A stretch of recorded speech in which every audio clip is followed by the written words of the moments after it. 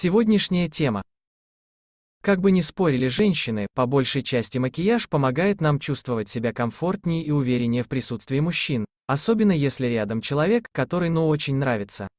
При этом никто не отрицает, что красивый макияж просто поднимает настроение, а в последнее время настроению действительно нужна подпитка.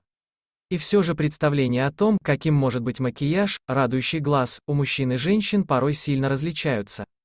Так, многим представителям сильного пола может понравиться самый настоящий антитренд в макияже.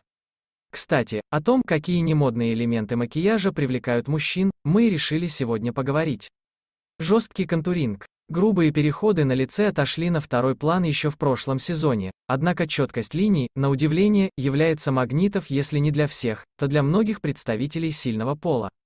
Несмотря на то, что сегодня вовсю развивается тренд на естественность, нюд в покрытии и эффект голой кожи, мужчина обязательно повернется вслед женщине с плотным тоном и четко очерченными скулами и подбородком.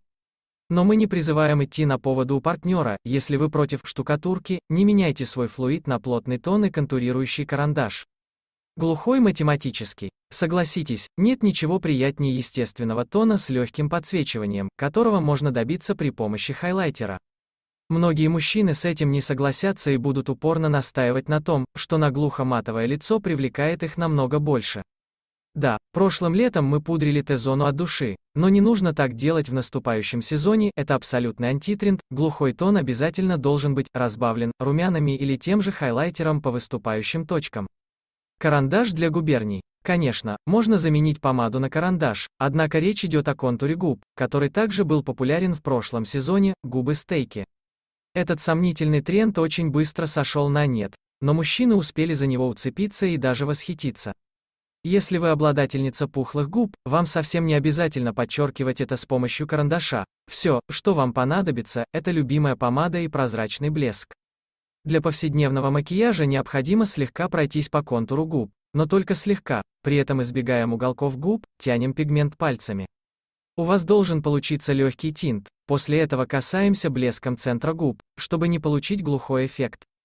Тот же прием отлично сработает и на небольших губах, а вот для суперузких губ можно посоветовать блески или пастельные оттенки, никаких темных насыщенных цветов.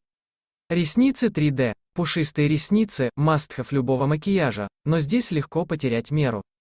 В погоне за суперпушистыми ресницами можно получить обратный, отталкивающий эффект. Как мы уже говорили, сегодня в тренде естественность, поэтому ресницы минус 3D точно не наш вариант. При этом мужчины просто млеют от взгляда, брошенного из-под веера искусственных ресниц. Что интересно, сами они прекрасно понимают, что девушка явно посетила салон. Но идти на поводу у них мы снова не будем, если очень хочется длинных ресниц. Попробуйте классические 2D, ваш мужчина также будет в восторге. Вот увидите. Ставь лайк и